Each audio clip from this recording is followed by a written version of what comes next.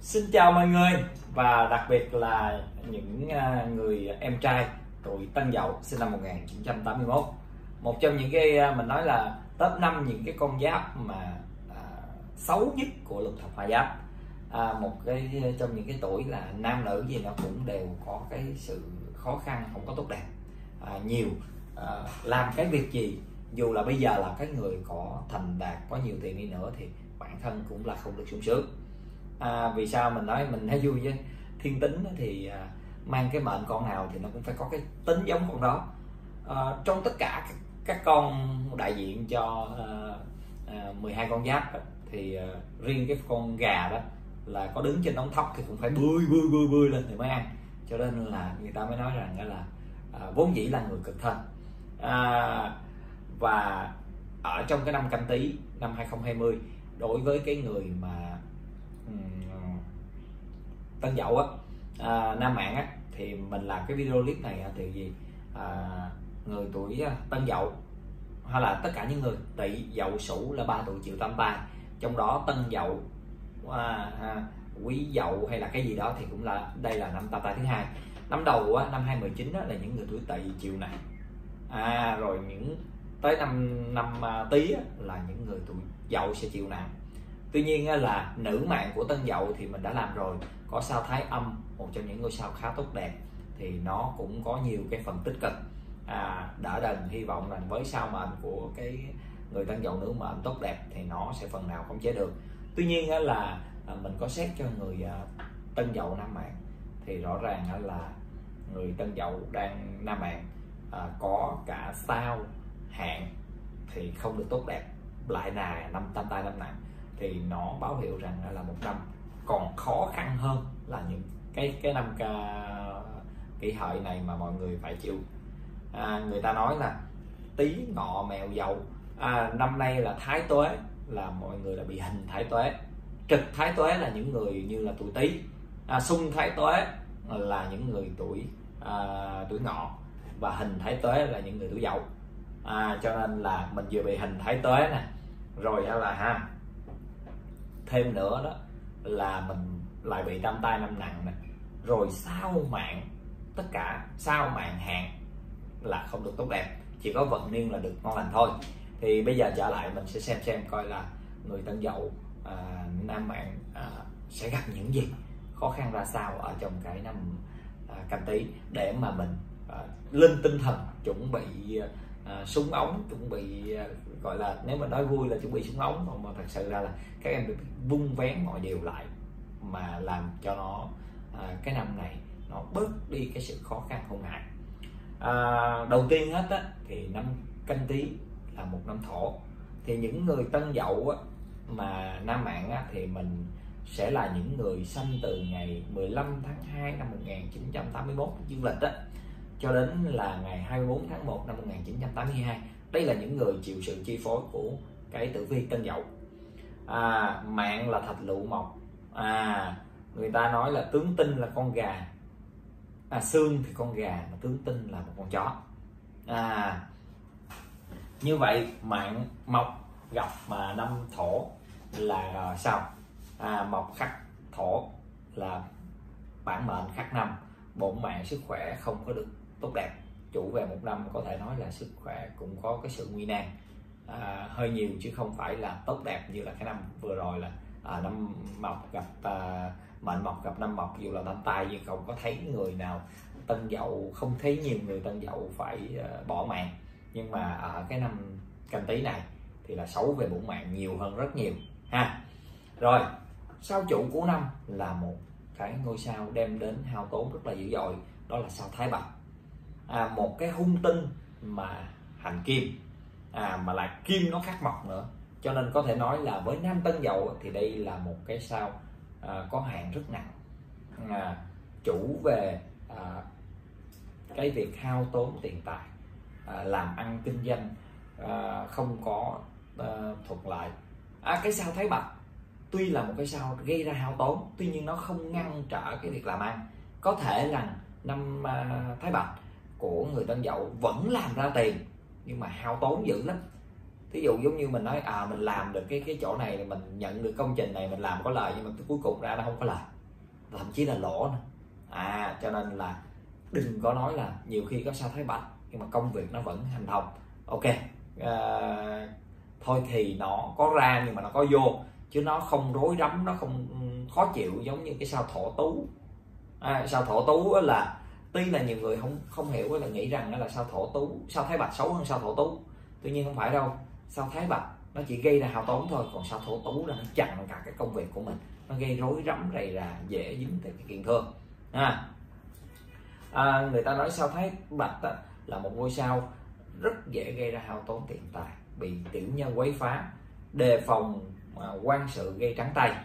À, kỹ nhất của cái người mà Ờ, đối với á, là tuổi ờ, thì là tháng 2 là tháng mão nè rồi là tháng 8 là tháng dậu.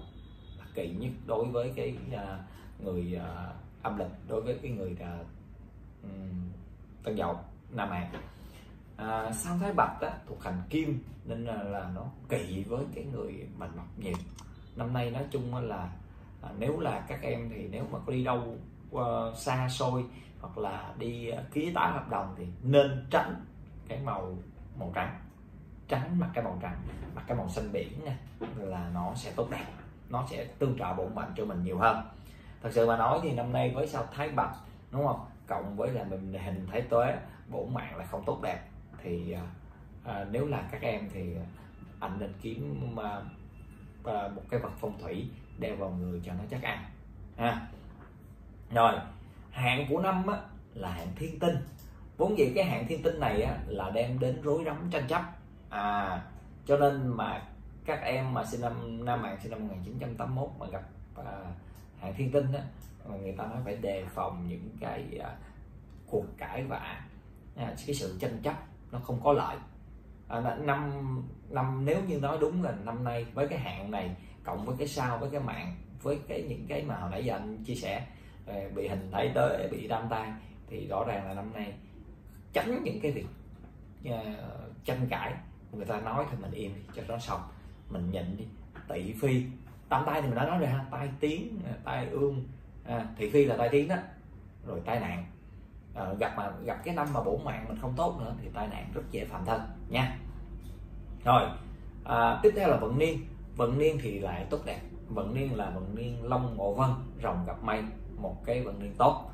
À, có thể nói có thể hiểu đơn ừ, gặp cái năm mà có long ngộ vân như vậy thì có nhiều cơ hội có thể thỏa sức ờ, thể hiện cái cái, cái cơ hội đó của mình. Thăng tiến à, công việc nó có nhiều ấy nhưng mà nên nhớ là mình có sao thái bạch nó ở làm sao? Có cơ hội nữa làm ra được. À, nhưng mà nó không có giữ được đâu. Thôi thì ờ, có làm mà nó có tiêu hao thì cũng được đi chứ để mà nó không làm mà nó cứ tiêu hao tiền nhà là chết dịch nha. À, nói vậy thôi chứ còn người dân dầu thì nhớ cẩn thận ở trong công việc làm ăn tránh cái việc khùng hạp ở trong cái năm này. À, sẽ gây ra nhiều cái rắc rối rầy rà à, khởi sự nha tức là khởi sự trong năm này chứ còn nãy cái việc mà đã à, à, hùng hạp ở những năm trước rồi bây giờ nó vẫn tiếp diễn làm thì mình không nói.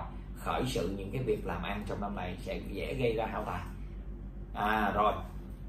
À, đó được vận niên tốt đẹp thì cũng phần nào có thể nói là cái cái năm dù có nhiều cái xấu nhưng phải có cái gì đó tốt tốt. Chứ còn mà thí dụ như 10 điều xấu cả 10 thì chắc chết. À ha tân dậu năm mạng dù sao cũng được cái vận niên của năm. Rồi thiên can á, thì chữ tân chữ căn là không xung không hợp về mặt tử vi. Cho nên là ok công việc từ xưa và từ hồi xưa giờ nếu mà công việc mà đang làm thì nó cũng không có gì mà à, gặp gây ra nhiều khó khăn. Chỉ là những cái công việc mới những cái vận hội mới thì đừng có quá à, bung bung ở trong năm này. Tức là không cương ở trong công việc làm ăn. Nạp âm ngũ hành của tân canh thì đều là kim cho nên không có việc gì cả. Địa chi? Dậu gặp tý. Tý ngọ mèo dậu. Tý ngọ mèo dậu. À nằm trong tứ hành xung người ta còn gọi là tam tai. Thì địa chi như thế này thì gia đạo tình cảm rất là dễ có những cái điều không tốt đẹp. À, các em nam thì nhớ cẩn thận. Coi chừng nhiều khi mà là à, không biết tại sao về ông vợ nó quăng à, anh ký đi ha. Anh ký cái đơn giải thoát cho bản thân à, anh nhiều khi nó à, tai bay bà gió lắm. Cho nên là nhớ cẩn thận một tí xíu chứ là không tốt đẹp. À, như vậy xét về cái tử vi của à, năm canh tí nhìn về mặt ở bên ngoài thì rõ ràng chỉ được cái vận niên à, thiên can và địa chi thôi. À, vận niên và thiên can thôi. Còn địa chi là sao mạng hạn tất cả mọi thứ đều quá không tốt đẹp. À, như đã nói ha tý ngọ à, á quên à, tỵ dậu sửu thì năm năm 2019 thì những người tuổi tỵ thì mọi người đã thấy rồi đó. Ai cũng la lạc ai cũng là trời xấu năm xấu quá. Thì năm tới những người tuổi dậu sẽ bị giống vậy. À, đặc biệt là tân dậu với cái sao thái bạch ha mình mười mình mọc mà bị sao thái bạch thành kim nó chơi trên đầu nữa rồi lại bị hình thái tuế nữa thì chắc chắn là sẽ không có nhiều cái điều mà à, tốt đẹp để xảy ra ở trong cái công việc làm ăn à, khó khăn. Nó thật sự nếu là mình hay chỉ mèo người nào mà gặp sao thái bạch mà hung hạn như vậy á thôi thì à, năm sau đường nào cũng mất. Để tiền trong tài khoản nhiều khi nó lôi ra mất đem ra dùng tiền mua miếng đất đi không cuối năm bán thì nó sẽ còn. Dù nếu có lộ thì nó cũng không lộ đi nhiều. Đất thì nó không mất giá trị ha. Còn tiền để trong đó ví dụ mình có sợ lỡ có gì nữa thì cũng không thể nào lấy cái cục đất ra là, là trả cho người ta được. À, xây ra cục đất mà ra tiền ra được. Nhưng mà để trong tài khoản nó lòi ra là mất à rồi đó là một cái cách mình chỉ mẹo cho những người mà à, tân dầu hay bị thôi.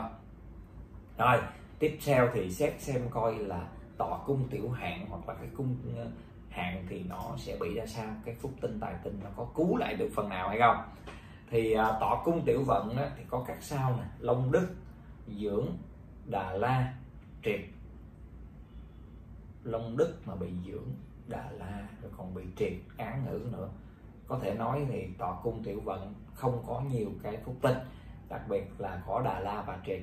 Thì à, phần nào đó có thể nói có hiệu thể hiểu nôm na rằng à, tọa cung tiểu vận à, không đem đến nhiều may mắn ở trong công việc làm ăn đâu. À, không được như mong muốn sức khỏe thì không được tốt đẹp. À, thể hiện cũng khá giống với lại cái à, à, sao và hạn của mình ở trên. À, cung tiểu hạn tức là cung xung chiếu đó có các sao như là thiếu dương đường phù tấu thư suy thiên không.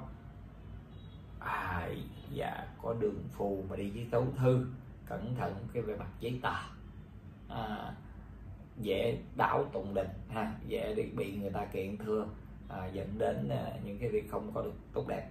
Tuy nhiên cũng có một cái à, à, may mắn là thiếu dương được à, tọa thủ cho nên cũng phần nào đem lại cho mình cái cái công việc cũng có những cái lúc rất là tích cực đặc biệt là vào những cái tháng mà à, được tương sinh về cái mặt à, nạp âm ngũ hành của thiên can và thiên can được ngũ hợp thì chắc chắn là sẽ có được tiền tài. À, chứ không phải là không làm ra tiền tài như đã nói. À, cũng giống như là cái cái à, mình đã chia sẻ ở trên về cái sao thái bạch. Phải rõ ràng là là sao thái bạch nó gây hao tốn nhưng nó không cản trở cái việc làm ăn ở ban đầu mình vô. Tức là có rồi mất chứ không có phải là nó cản trở không có làm được gì giống như là ông lào hoặc là ông à, thổ tú đối với cái người của mình mặt mình ha. Rồi. À, đặc biệt với thiên không ở phía sau thì rất dễ có họa từ trên trời rơi xuống. Nhiều khi mình không có biết được nó ở đâu nhiều khi đó tại bầy và gió. Ha. Rồi cung nhị hợp mà nói về các cái đối tác làm ăn của mình thì có thiên việt thiên phúc tế phá thiên hư phục binh thai thiên khóc. Có được có mỗi thiên thiên việt thiên phúc là phúc tinh còn lại nè tuế phá thiên hư phục binh thai thiên khóc triệt. Tuế phá cái này là đối tác dễ gây rắc rối. À, làm ăn với người nào mà lạ kết hợp làm ăn mới thì phải cần cẩn thận với tế phá đi trước thiên hư phục binh. Phục binh là có thể có thể hiểu nôm na là giống như là người ta gài bẫy mình nữa. Ha cho nên là cẩn thận. Đặc biệt là mình cũng có một cái tín hiệu đã đỡ một tí xíu đó là ông triệt ông đi sau tất cả các cái phá tin này. Thì như đã trình bày ở nhiều cái video trước là triệt và tuần thì thường là cứ gặp bất cứ sao tốt sao xấu gì thì cũng uh, khống chế cũng làm giảm bớt cái sự hung hại hoặc là cái sự tốt đẹp. Cho nên là triệt án ngữ ở cái cung nhị hợp như thế này. Dù rằng người ta có gây ra sóng gió có gây ra cái việc ấy thì nó cũng không quá nặng nề. Mình vẫn có phần nào mình khống chế được. Đặc biệt ừ, của cái sau ờ, cái ông triệt là như vậy. À, mình có thiên việt và thiên phúc thì rõ ràng là mình có được phúc trời à, dù người ta hại đi nữa thì giống như là gần chết rồi thì có tự động nó lướt cái qua thôi thì đó là cũng là một cái điều mà gọi là à, à, một chút à, an ủi bản thân một chút hy vọng để mà mình có những cái uh, niềm vui tốt đẹp ở trong cuộc sống dù là cái năm nó có khăn nhiều. Cung tam hợp thì có thiên quan lưu niên văn tinh lâm quan tiểu hao trực phù thiếu âm hồng loan hỷ thần tử wow nói chung là với cái cung tâm hợp như thế này thì rõ ràng có hỷ thần thiếu âm hồng loan. Thì nếu như mà các em nào mà đang độc thân ở cái tuổi tân dậu này hoặc là à, đã có gia đình mà trở thành độc thân thì rất dễ có chuyện vui vẻ ở trong cái việc cưới sinh vì có hồng loan đi trước hỷ thần. À, là niềm vui về à, cưới lại thiếu âm trực phù à, tuy nhiên ờ, là có tử đi sau. Thì à, nếu như là các em có con trai nhỏ con trai nhỏ hơn 6 tuổi nhớ cẩn thận sức khỏe và cái việc tai nạn của nó. À, cái đó điều đó là không tốt đẹp ở cung trong cung tam hợp. Tuy nhiên nhìn chung thì các cung tam hợp có khá là nhiều phúc tinh. Chỉ có tiểu hao tiểu hao thì nằm ở trong không có tiểu hao đi nữa thì mình đã bị một cộng đại hao là ông à, thái bạch rồi cho nên tiểu hao này thì cũng chả đáng là gì. Ha. Như vậy thì nhìn chung ở trong cái à, à, tọa cung tiểu vận hoặc là cung hàng của mình thì các phúc tinh thì ít phá và bại tinh thì nhiều. À, báo hiệu là nội tại bên trong của mình cũng à, không có được tốt đẹp à, gia đạo tình cảm à, có nhiều cái điều mà à, đặc biệt là những em mà có à, vợ con cùng tuổi hoặc là vợ con xung tuổi thì dễ có cái sự gây gỗ đây là năm nó khiến mọi điều xấu như thế. Thì nếu làm các em thì mình sẽ phải tự điều chỉnh bản thân mình. À, như mình đã nói không? Mình đang chạy bon bon trên đường mà mình gặp một cái ổ gà mình sập xuống á, thì mình mới mới mới bất ngờ mình mới sợ. Còn nếu như mình đã sẵn sàng mình chuẩn bị tư thế ha đao kiếm rồi này kia mình biết trước là một năm xấu mình chuẩn bị tâm thế nó xấu đến thì mình đón thì nó sẽ là nhẹ nhàng. Cũng giống như là mình à, anh chia sẻ cái video này không phải là hăm dọ hay là à, làm cho ờ, các em sợ hay là gì cái gì nhưng mà là cái cảnh báo rằng phía trước là một năm. Thí dụ như một đoạn đường tối nó có khá nhiều ổ gà cho nên các em giảm bớt cái tốc độ lại. Đề phòng mình rớt xuống ổ gà. Nó nặng nề gây ra thương tích. Chứ không phải là hăm dọ các em để làm cái gì. Thật sự ra mà nói tốt thì nói tốt mà xấu thì nói xấu để mà mọi người biết để chuẩn bị cái tâm thế. À, chuẩn bị cái sức lực của mình để mà mình chống đỡ cái năm nó không được thuận lợi. À, đặc biệt là vừa bị hình thái tuế bị tam tai bị sao thải bạch ha rồi à, trong à, tọa cung tiểu vận cung à, xung chiếu gì thì sau à, phúc tinh thì ít mà phá bại tinh thì nhiều. Sẽ gây ra hao tốn. À, phải nói rằng là năm canh tí năm 2020 đối với người mà à, tân dậu nam mạng xét về tử vi nội tại hoặc là cái bên ngoài thì đều phải gồng mình mà chống đỡ. À, cơ bản là như vậy. Thì à, mình sẽ xem xem vận hạn của 6 tháng nó có uh, biến chuyển tích cực hay không uh, so với từng tháng như thế nào. Uh, thì đầu tiên hết của cái năm canh tí 2020 là tháng mậu dần mà tháng mậu dần là một tháng thổ.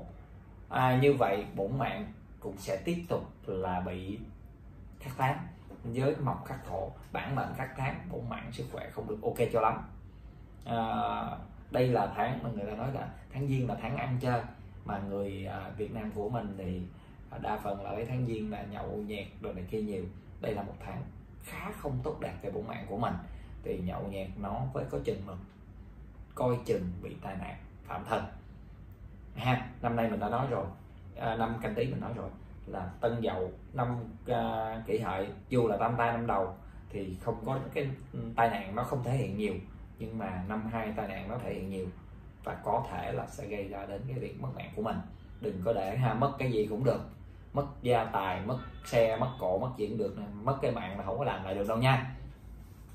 Thiên can, mậu tân thì không xung không hợp là trạng thái cân bằng tự chủ. Về công việc thì ok, không vấn đề gì. Thì vì sao? Vì nạp âm ngũ hành của thiên can. Chữ mậu là thổ và tân là kim. Như vậy là nạp âm ngũ hành là được tương sinh. Tốt cho công việc, tài lộc, không có vấn đề. À dù là năm tam tai thì khởi đầu một năm có cái tháng thiên can như thế này cộng với cái thiên can hồi nãy mình nói của năm thì chắc là công việc không vấn đề đâu.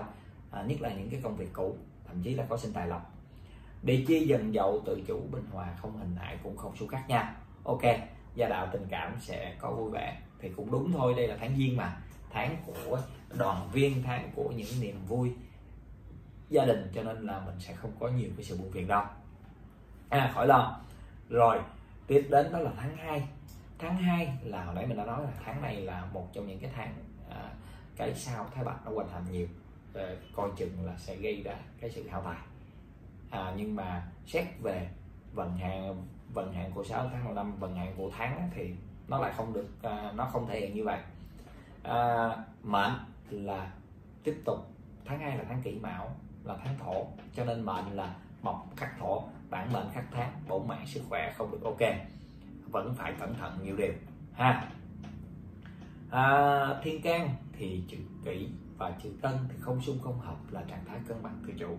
Nó cũng tiếp tục giống như là tháng giêng với à, mậu kỷ thuộc thổ tân thì thuộc kim cho nên là năm âm ngũ hành thuộc tương sinh. À, tốt cho công việc tài lộc không có vấn đề gì. À, cái sao à, thái bạch nó có hoàn thành thì kệ nó. À, có thể là nó gây ra hao tốn nhưng mà công việc tài lộc của mình nó vẫn cứ vào vào rồi thì nó ra chứ còn nó không phải là nó gây cản trở không có vào luôn. Ha mình nói mình nói lại ha. Địa chi mão dậu tí ngọ mão dậu. Mão dậu là thuộc nhóm lục xung à, gia đạo tình cảm nhiều cái buồn phiền âu lo. Đặc biệt là các mối quan hệ về công việc cũng dễ xảy ra cái xích bích không tốt đẹp. À, cẩn thận. À, đây là nơi sao thế bạch thể hiện này. À, nó công việc không có vấn đề nhưng mà những cái mối quan hệ rồi này kia nó sẽ đem đến cái rắc rối à, cho mình. À, xét về vận vận niên cái vận hạn của cái tháng. Rồi tiếp đến đó là tháng canh thìn tháng 3 âm lịch của năm canh tí tháng canh năm canh mình chữ tân ha. Rồi tháng canh thìn thì thuộc kim. Như vậy xét về mệnh là kim khắc mộc à, tháng khắc bản mệnh bổn mạng sức khỏe cần cẩn trọng đề phòng tai nạn phạm thân. Ha đây là à, mình cũng nói sao thái bạch thì nó không tác dụng cái này hoặc là lâm tay nó không tác dụng cái cái tháng này bằng à, tai nạn thì nó cũng bằng tai tiếng. À, như thí dụ như vậy tháng 2 là tai tiếng đó mà tháng 3 là coi chừng tai nạn. À, à thiên can tân canh thì không xung không hợp là trạng thái cân bằng tự chủ cho nên công việc cũng ok không có vấn đề gì đâu. À, như mình đã nói ha nhưng mà làm thì công việc có đó nhưng mà tiền không giữ được. Rồi địa chi thìn dậu thì thuộc nhóm lục hợp của địa chi. Dấu hiệu của nhiều may mắn không chỉ cho gia đạo mà còn cho cả công việc. À, và vận niên thì tháng thìn mình tuổi dậu gặp tháng thìn là tháng lục hợp. Tốt về tình cảm gia đạo. Ok không vấn đề à, các mối quan hệ đôi khi nó sẽ còn tự sinh cho mình sẽ phần nào à, làm giảm bớt cái sự khó khăn ở trong cái tháng hai tạo ra đi. Có thể đó ha. Rồi tiếp đến đó là tháng tư âm lịch của năm canh tí. Tháng tư âm lịch là tháng tân tỵ. Dĩ nhiên tháng tân tỵ cũng là một tháng kim à, như vậy bổn mạng và sức khỏe của mình cũng phải cẩn trọng giống như tháng 3 với kim khắc mộc. À, à, phải tiếp tục đề phòng với cái bổn mệnh của mình. Ở trong cái năm tan tan năm nặng mình đã nói ha năm nay thì bổn mạng hơi yếu cẩn trọng chứ không phải như tâm tay năm đầu đâu ha. Bổn mạng im im ngon lành thì à, cho nên là mình có rắc rối về tài lộc có rắc rối về công việc có rối rắm do cái sau của năm không tốt. Nhưng mà năm nay năm canh tí thì chưa chắc đâu à công việc có đôi khi thấy ok đó nhưng mà bổn mạng của mình thì bị dễ bị lung lay. À, thiên can thì chữ tân đồng hàng. À, hanh thông tốt đẹp cho công việc không có vấn đề gì nào cả à ngon lành. Địa chi thì lại tiếp tục là một tháng có địa chi tốt đẹp với tỵ gặp dậu là thuộc nhóm tam hợp tỵ dậu xỉu. Là dấu hiệu của nhiều may mắn không chỉ cho gia đạo mà còn cho các cái mối quan hệ trong công việc. Làm ăn ok à, tốt đẹp về mặt tình cảm. Tiếp tục là một tháng tốt đẹp về mặt tình cảm. Cũng giống hai tháng tháng 3 tháng 4 khá giống nhau. À chỉ có bổn mạng, sức khỏe là phải xấu, cần cẩn trọng nhiều điều rồi, tiếp đến đó là tháng 5 âm lịch. Hai tháng tháng 5 tháng 6 là hai tháng mộc thì sao tháng 5 âm lịch là tháng nhâm ngọ, tháng 6 âm lịch là tháng quý mùi. À là hai tháng mộc hết. Cho nên có thể nói là bổn mạng, sức khỏe của hai tháng này là đồng hàng với lại cái người mệnh mộc cho nên bổn mạng, sức khỏe sẽ không có vấn đề. Tuy nhiên là tháng thiên can xét về thiên can tháng 5 là nhâm tân. Không xung không hợp là trạng thái cân bằng tự chủ tiếp tục là về mặt à, tử vi nó không có vấn đề gì. Tháng 6 cũng vậy với tân quý không xung không hợp là trạng thái cân bằng tự chủ về mặt tử vi.